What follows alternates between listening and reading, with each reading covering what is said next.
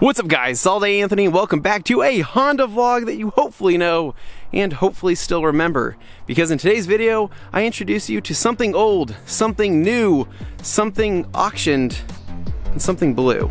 Let's go. Disco.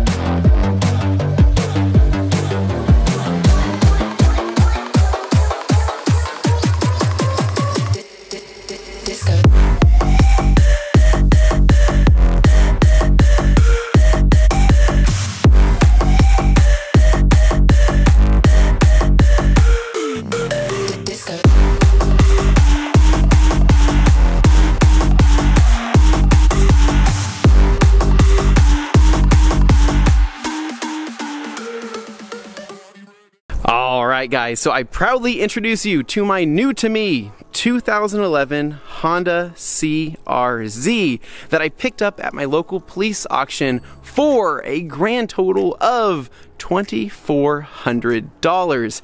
Now, before we jump into this, a couple things I need to cover first uh, is where have I been? A lot of people have been wondering where the content's been for the past couple months. Uh, and long story short, I was spending time with my family uh, and then knocking out some projects that I had been putting off since summertime. So, uh, with those done, I should be back to some more consistent content, especially with this new little project I have in front of me.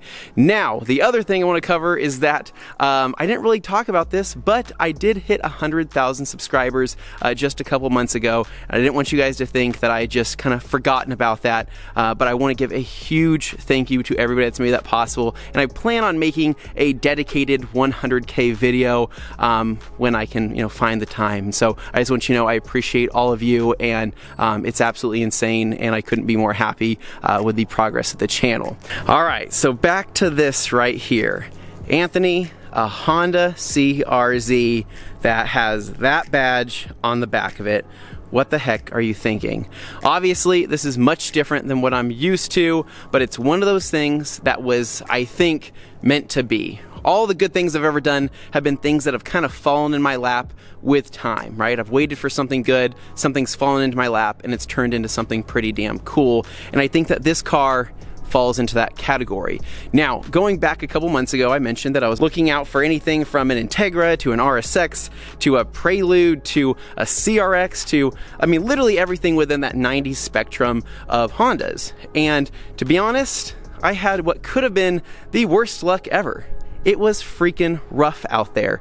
The market is not making anything easier for pretty much anyone, and the inventory that we're working with isn't the best to begin with. I mean, for an example, I went to go look at several different cars. I was in contact with 50 different sellers regarding different cars, and it wasn't just the cars that were bad. Again, it goes back to the sellers and the people and the lack of communication and all those things that make finding a new project car so frustrating. So, really, what I'm saying is that I really feel feel for everybody out there that's on the hunt for a project car, a Honda Civic, an Integra, whatever it may be, because guys, the prices are just absolutely insane and uh, almost not worth it, right? It's, it's not a, it's not an affordable thing anymore, and that's what's been really really frustrating. So, needless to say, this car for 2400 bucks was something that I could not pass up.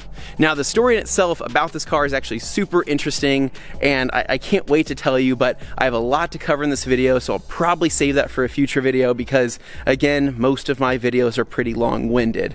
So let's jump into this thing right here. So this was a police auction car that I bid on. I won for $2,400. It's a 2011 Honda CRZ with the highest trim model of being the EX nav trim. This is the North Shore blue color that actually is quite pretty once it's cleaned up, but in its current state is pretty dang rough. Now, a couple things I'm gonna have to do right off the bat that you guys probably can notice is that I do have some clear coat failure up here, which isn't ideal. I also have some clear coat failure here on the hood as well. And then this bumper has seen some shit in its day. And so I'm gonna have to figure out what my plan is for kind of getting this car back into one piece, going through my all day Anthony checklist of you know, things that I like to do, and I'll talk about that here in a minute. And then there's also some lower door damage and some lower quarter damage as well. Now, the Honda CRZ, was this a car that I was looking for? Um, not necessarily, but when I saw it pop up at auction, it was something that I thought was super cool and kind of unique. And I've always really liked these cars. And when I first got this car, it actually wasn't running. So uh, again, I keep teasing the story. I'm sorry, but it is a really, really cool story. Um, needless to say, it's running now. So the CRZ, what is it? This was supposed to be the successor to the Honda CRX, which was a very uh, early 90s, late 80s uh, sport sports hatch, a little basic little hot hatch is what it was. But this right here was supposed to be a successor to that, but was kind of a disappointment because Honda decided to make it a hybrid. Now, what's interesting about the CRZ is that while yes, it's a hybrid, it is not an electric car. It still has a combustion motor, but it has an electric motor that produces a little bit of horsepower in itself and kind of helps the car move along and obviously be more of an economy gas saver car. Now, with that said, uh, it would have been pretty cool if Honda put a K24 in these because I really feel like this would have been a super fun hot hatch, uh, and a lot of people have swapped these cars. And I know that people are probably in the comments right now, K20 swap, K20 swap, I get it. Anyway, my plan for this thing, long term, I have no idea. Short term, I want to clean it up, I want to fix it up, I want to make it look a little bit nicer. Now, again, this is a 2011 Honda CRZ. It's got 122,000 miles with a clean title, believe it or not.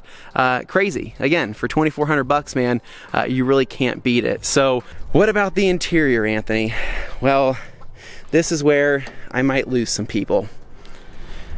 What is that? Okay, so, yes, this is an automatic car. This is a CVT transmission here on the CRZ. Now these cars were actually one of the first sporty hybrids to come with a six-speed manual, which is super cool, but um, unfortunately, right, beggars can't be choosers. I got this for an extremely good deal, um, and the fact that it had an auto transmission didn't really kill it for me. It was one of those things where I'm like, you know, okay, I'll work with it because it's actually got a sport mode and it's got paddle shifters to where it makes it a little more enjoyable to drive. And I'll talk about that here in a little bit when we do go for a drive. Interior of this car though is in, um, I don't know, okay shape. The seats are absolutely filthy. It's probably hard to tell on camera here, but there is stains all over them. So this is going to need a complete detail on the inside.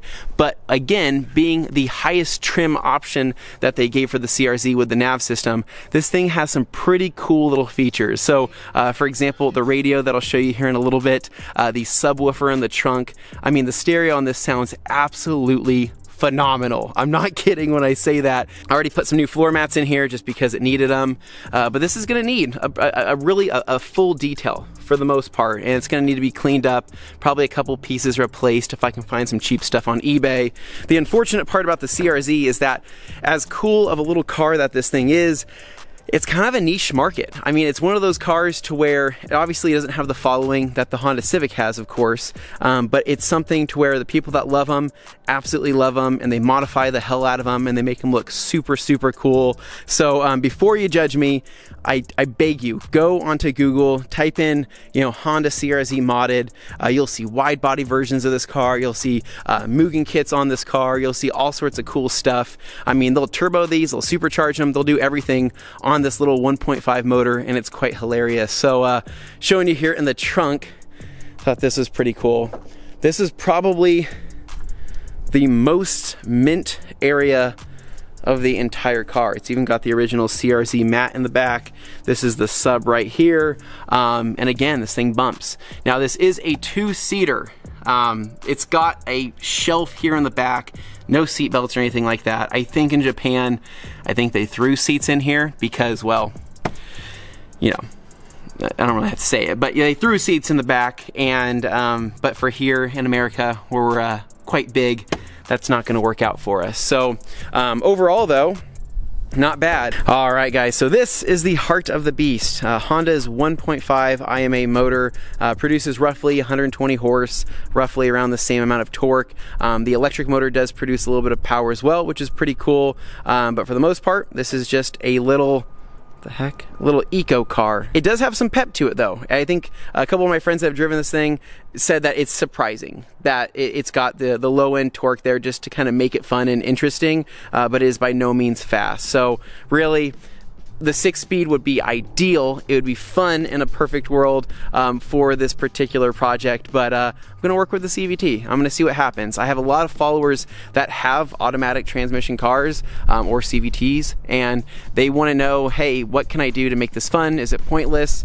is there anything I can do? And I think that there's a couple recommendations I can make to make this car uh, more enjoyable to drive and definitely more fun. So uh, yeah, nothing super exciting. This is dirty as hell. Again, it's been sitting for, uh, it was sitting for a year in the lot, so it's got some lot rot that I need to clean up, but I really think that I can detail this thing back to life and make it look uh, really nice. Anything else to cover before we go for a drive and then I can kind of talk about the plans for this thing, what I think I'm going to do, um, how long I'm going to have it for, and kind of my uh, my plan from there. So uh, now let's just go ahead and jump in.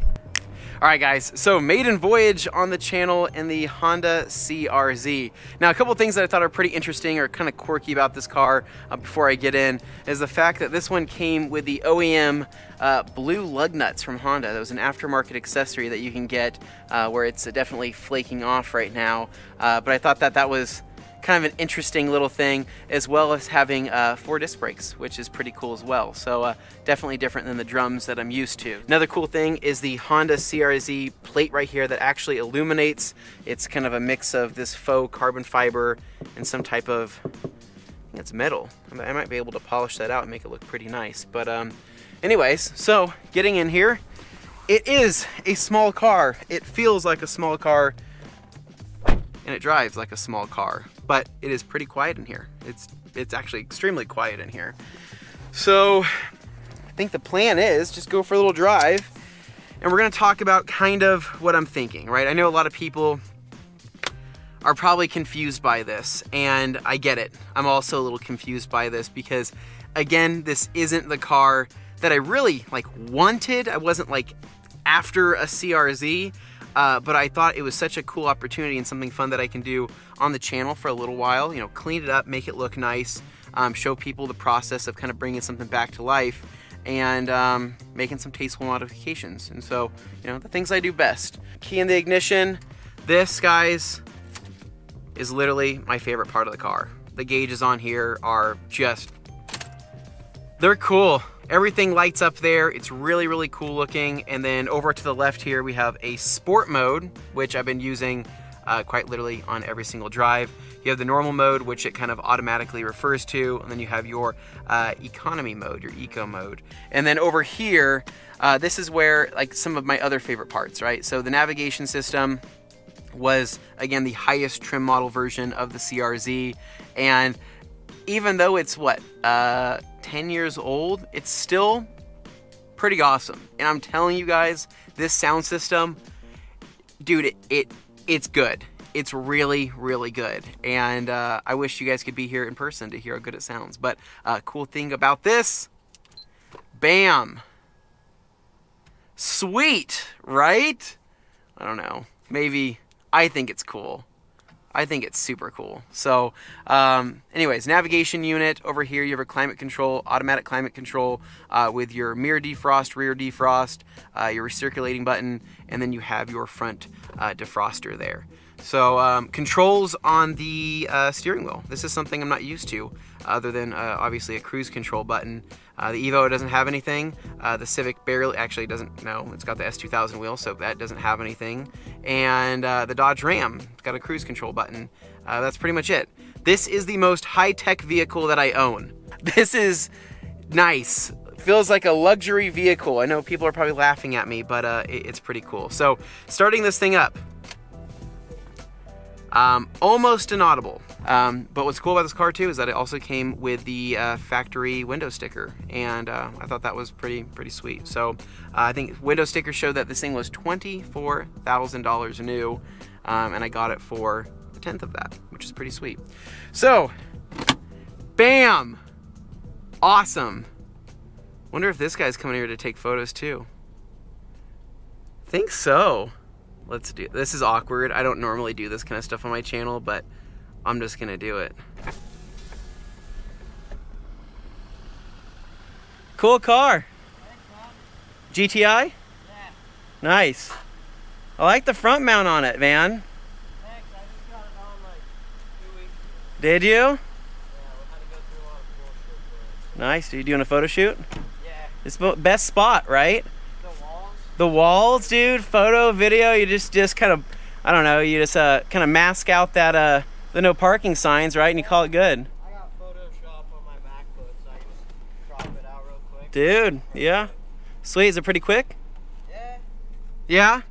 It's it moves, right? Sweet, man. Well, heck yeah, dude. Have fun. You have, you have an Instagram for this thing? Uh, yeah, it's just my name, Brennan Ellsworth. Brendan Ellsworth. Brennan, B R E N N A N, and then E L L S W O R T Heck yeah, dude. It's pretty sweet. Thank you. Well, this isn't as cool as that, but you know, I took some. point A to point B, right? It does. It gets pretty good gas mileage too. Filming or something? I see you got the GoPro. Yeah, well, like I like I'll film some stuff every once in a while for like videos and stuff, but Yeah. nothing super exciting. Dude, heck yeah, man. See ya. Have a good one. You too. All right. Anyway, so we're taking off here, and uh, we're in normal mode, drive mode. This is pretty much just the, uh, I don't know, this is standard mode. You put it in this thing, it's not super exciting. So I click the sport button, and it makes it quite a bit more exciting. It really does. I'm not just saying that. Um, it's really cool because basically when you switch between sport and eco mode, it changes uh, the color of the dash. So once you click the sport, everything switches over to red, and then when you click the eco, everything switches pr- primarily to green. Now, one thing that I have not gotten used to on this car is the auto stop feature. Uh, not a fan. Not, I hate that. I, I honestly, I really, really do hate that. So um, I keep the defroster on because apparently it deactivates that from uh, from happening. Uh, put this thing in second.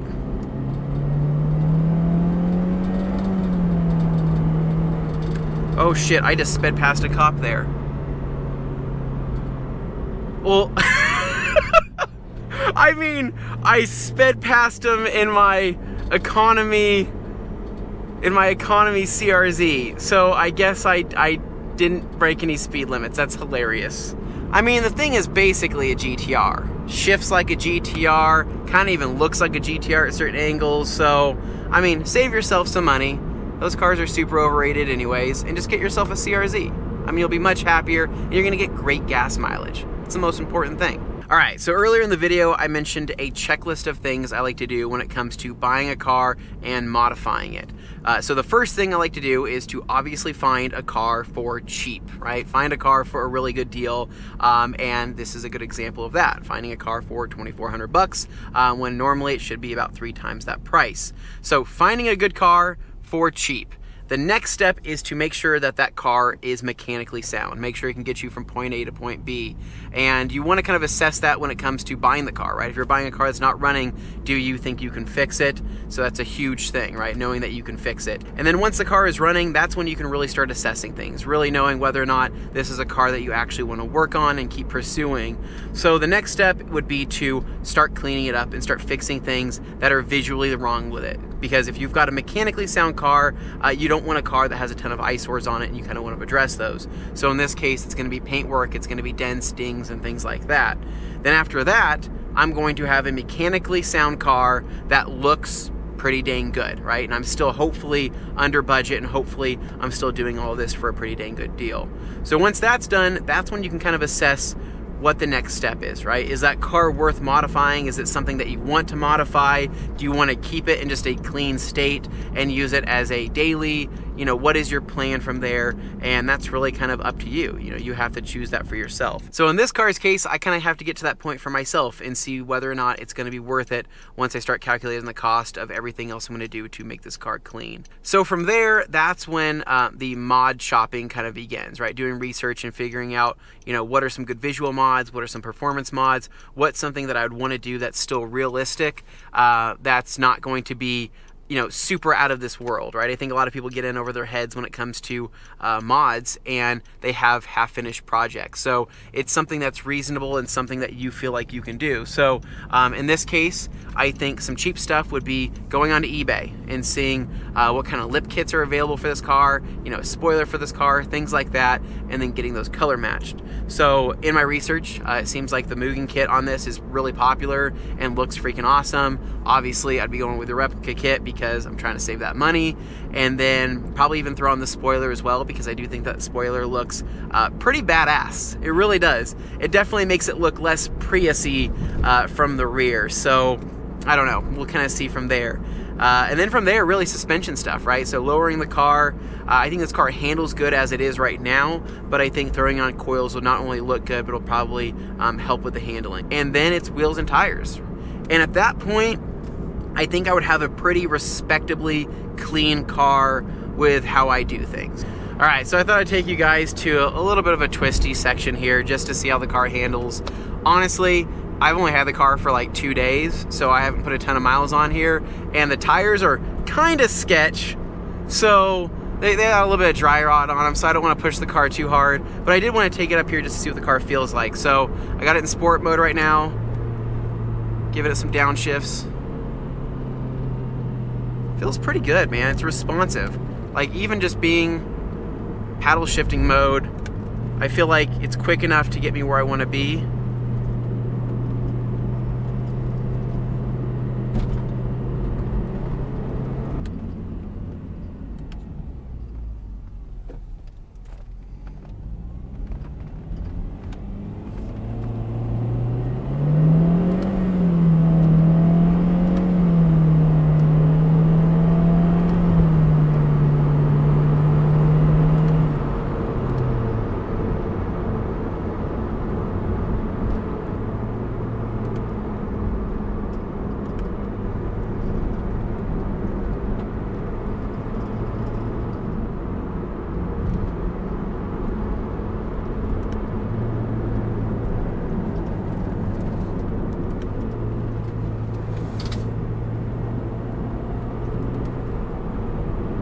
All right, guys. Well,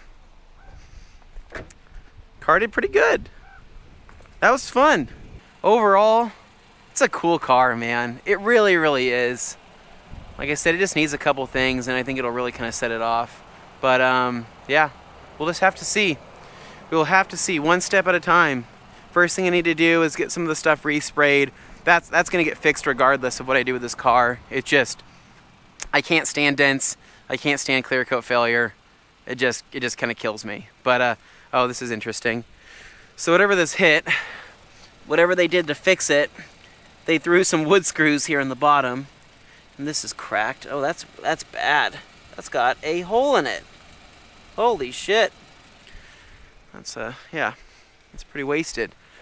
But yeah, fun. That and then the dents on the side. Those are those are pretty horrendous as well. So we'll see, one step at a time. CRZ, baby. We're gonna see what happens. Sorry, it's getting a little windy here. All right, guys, so that's gonna be a wrap for today's video. Again, I apologize about the hiatus, but thank you guys all for sticking around. I'm glad to be in another Honda project. Um, we'll see what happens with this thing. Really, it's, it's kind of up in the air, and so I am open to ideas. If you guys have any ideas, drop them down in the comments below. There is not a ton of CRZ content out on YouTube, uh, so we'll see what we can do, right? And uh, we'll make this fun will make this thing look pretty badass. Uh, the red Civic is not going anywhere. Don't worry, that's still going to be featured.